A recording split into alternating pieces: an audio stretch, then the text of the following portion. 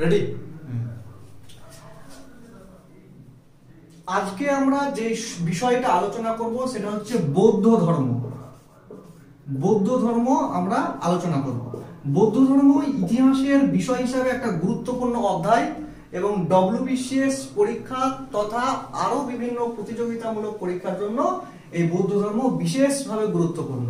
ওকে তো বৌদ্ধ ধর্ম হচ্ছে বৈদিক ধর্ম যে ছিল দেড় হাজার বিসি থেকে সিক্স হান্ড্রেড বিসি সময়ের যে বৈদিক ধর্ম ছিল, সেই বৈদিক ধর্মের প্রতিবাদকে কেন্দ্র করে যে ধর্মের উদ্ভব হয়, সেই ধর্মের ধর্মগুলোর মধ্যে অন্যতম হচ্ছে বৌদ্ধ ধর্ম ওকে তো এই বৌদ্ধ ধর্মের যিনি প্রতিষ্ঠাতা ছিলেন, তার নাম হচ্ছে গৌতম বুদ্ধ।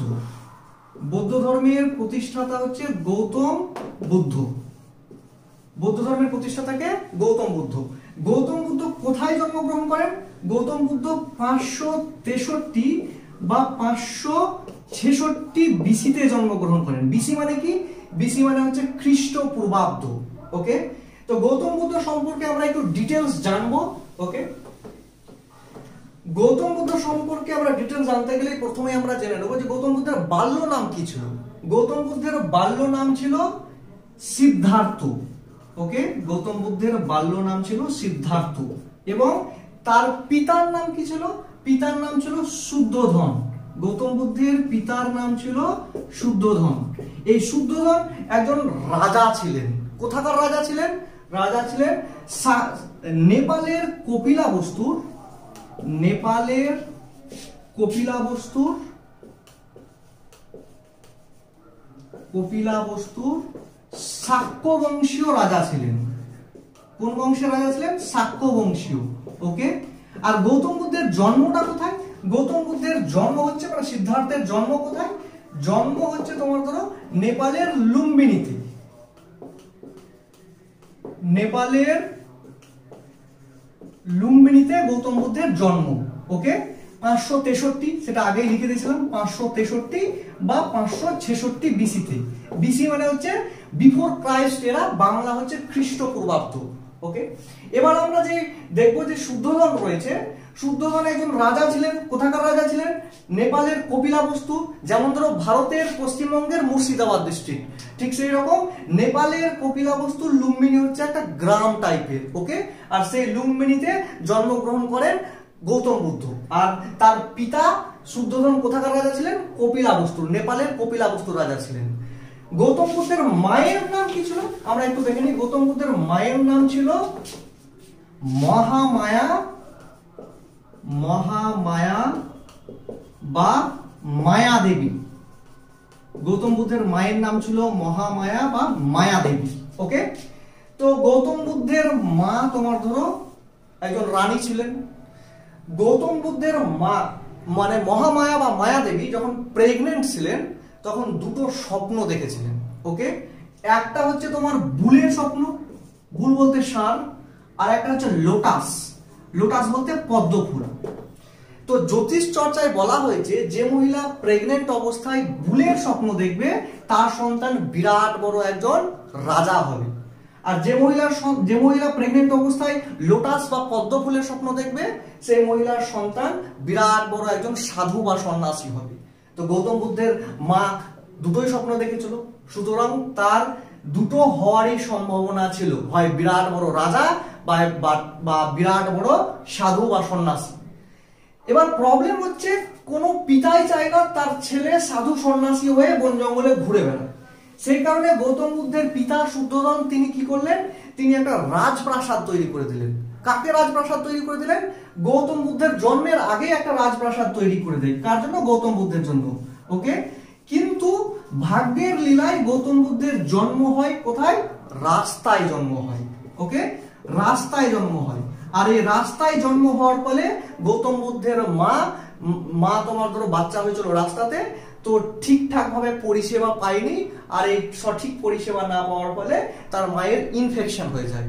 আর এই ইনফেকশনের ফলে তার মা মারা যায়, গৌতম বুদ্ধের মা মারা যায়।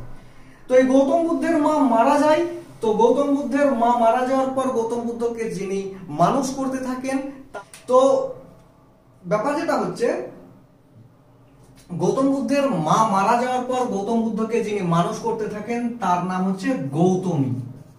ওকে গৌতমী। গৌতমী কে ছিলেন? গৌতমী সৎ মা বা স্টেপ মাদার বলতে পারো।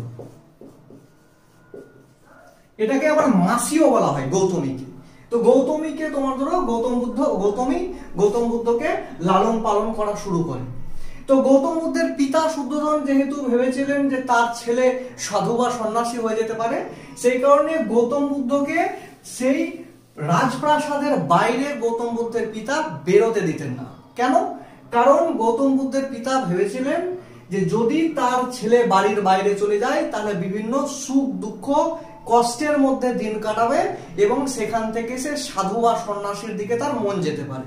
সেই কারণে গৌতম বুদ্ধকে বাড়ির বাইরে যেতে দিত না। তো গৌতম বুদ্ধ সেই রাজপ্রাসাদেই তোমার ধরো, ঠিক আছে, বসবাস করতে শুরু করে। গৌতম বুদ্ধের যখন চোদ্দ বছর বয়স, তখন একজন মহিলার সঙ্গে বা মেয়ের সঙ্গে আলাপ হয়। সেই মেয়ের নাম হচ্ছে গোপা বা যশোধরা। গোপা বা যশোধরা। তো এই যে গৌতম বুদ্ধের গৌতম বুদ্ধের যে মা মানে গৌতম বুদ্ধের যে মহিলার সঙ্গে মানে সাক্ষাৎ হয়, গোপা বা যশোধরা, সেই মহিলার সঙ্গে সাক্ষাৎ হওয়ার পর তার পিতা খুব খুশি হয়। কি কারণে খুশি হয়? তার পিতা জানতো যে তার ছেলে প্রেম করছে, তথাপি খুশি হয়। কেন খুশি হয়? কারণ তার পিতা এই ভেবে শিওর হয়েছিলেন যে তার ছেলে আর সাধু বা সন্ন্যাসীর সন্ন্যাসীর দিকে পথ পা বাড়াবে না। ওকে? তো এর ফলে ষোলো বছর বয়সে গোপা বা যশোধরার সঙ্গে গৌতম বুদ্ধের বিয়ে দিয়ে দেন ওকে? তো এই ষোলো বছর বয়সে গৌতম বুদ্ধের বিয়ে হয় এবং বিয়ে হওয়ার ফলে তোমার আরও কয়েক বছর যায় এবং আরও কয়েক বছর যাওয়ার পর রাহুল নামে একটা সন্তান হয়। গৌতম বুদ্ধের রাহুল নামে একটা সন্তান হয়। সন্তান হলো রাহুল। আরও কয়েক বছর গেল। তো আরও কয়েক বছর যাওয়ার পর শুদ্ধধন মানে তার পিতা মনে করে যে গৌতম বুদ্ধ আর সাধু সন্ন্যাসী হবে না, কারণ তার স্ত্রী, পুত্র, পিতা পিতা, সৎমা সবাই রয়েছে। সুতরাং সে তোমার আর সাধু সন্ন্যাসীর দিকে পা বাড়াবে না। তো সেই কারণে গৌতম বুদ্ধকে বাড়ির বাইরে যাওয়ার অনুমতি দেওয়া হয় সেই সময় থেকে। ওকে? তো গৌতম বুদ্ধ যার সঙ্গে বাড়ির বাইরে যেত, তাকে সারথি বলা হতো। সেই সারথি, সেই সারথীর নাম হচ্ছে চন্না। গৌতম বুদ্ধ যার সঙ্গে বাড়ির বাইরে বেরোতো, চন্না তার নাম, ওকে? আর গৌতম বুদ্ধ যে ঘোড়াতে চেপে বাড়ি থেকে বেরোতো মানে তার যে ঘোড়াটা ছিল, সেই ঘোড়ার নাম হচ্ছে কন্টক, ওকে? তো গৌতম বুদ্ধ কন্টকে করে মানে কন্টকে চেপে মানে ঘোড়াতে চেপে, ঠিক আছে, বাড়ির বাইরে চন্নার সাথে বেরোলো। তো বাড়ির বাইরে চন্নার সঙ্গে যখন বেরোলো, গৌতম বুদ্ধ চারটা দৃশ্য দেখে, ওকে? সেই চারটা দৃশ্য কি কি? এক হচ্ছে একটা মৃতদেহ একটা মৃত্যুদেহ বা মৃতদেহ একটা মৃতদেহ তোমার দেখে। দুই নম্বর হচ্ছে একজন রক্তাক্ত ব্যক্তি। রক্তাক্ত ব্যক্তি। তিন নম্বর হচ্ছে একজন অসুস্থ একজন অসুস্থ ব্যক্তি। আর চার নম্বর হচ্ছে একজন হাসি খুশি সাধু। তো গৌতম বুদ্ধ এইরকম দৃশ্য বাড়ির, যেহেতু রাজপ্রাসাদে ছিল, সেই দৃশ্য কখনো দেখেনি? তো সেই কারণে গৌতম বুদ্ধ অবাক হয়ে যায় যখন একটা মৃতদেহ দেখে যে কি ব্যাপার, কি ঘটনা ঘটছে। যখন আবার একটা রক্তাক্ত ব্যক্তি দেখে, সেটাতেও অবাক হয়ে যায় এবং বেশ বিচলিত হয়।